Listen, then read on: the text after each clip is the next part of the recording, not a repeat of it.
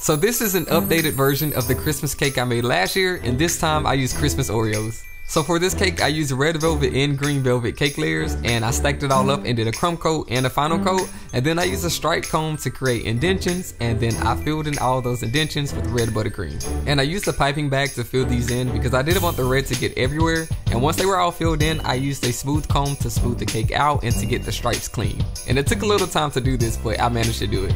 And next I placed Oreos in a spiral pattern going up the cake, and then I made a green chocolate ganache that I dripped on top of each Oreo. And this part was a little stressful because I had to make sure that I was dripping just enough, but it worked out.